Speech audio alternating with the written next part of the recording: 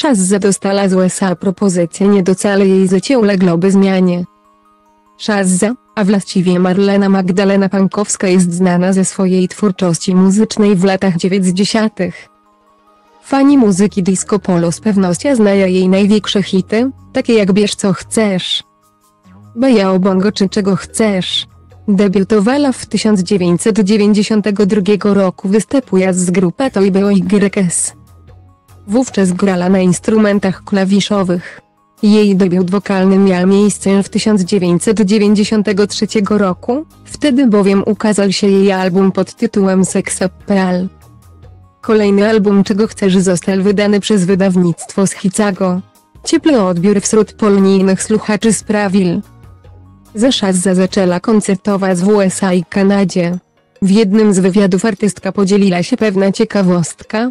W 1996 roku miała wystąpić na warszawskim Bemowie razem z Michaelem Jacksonem do wspólnego koncertowania jednak nie doszło. O, plany pokrzyzowali rzekomo niezyczliwi przedstawiciele branży muzycznej.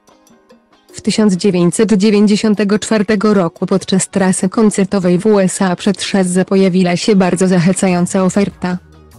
Zaproponowano jej pracę prezenterki telewizyjnej w polonijnej stacji w Chicago. Gwiazda jednak odmówiła. Jakie miała ku temu powody? W rozmowie nagranej dla programu Disco Show telewizji Top Kanal wspominała, że decyzję trzeba było podjąć bardzo szybko. Duża presja czasu i świadomość, jak kolosalna była ta zmiana w jej życiu, Shazza odmówiła, nie zdecydowałam się, więc trudno podsumowała po latach. Nie ma wątpliwości, że w przypadku przyjęcia propozycji, wokalistka musiałaby ograniczyć swoje występy lub, co gorsza, całkowicie porzucić karierę muzyczną. Dla ówczesnej królowej disco polo taka sytuacja mogłaby być nie do przyjęcia. Co więcej, jej fani na pewno byliby zalamani. Co ciekawe, w późniejszych latach Shazza i tak otrzymała szansę na zrobienie kariery w telewizji. Tym razem miało to miejsce w Polsce. Artystka prowadziła autorski program listy do Shazzy w stacji Polo TV.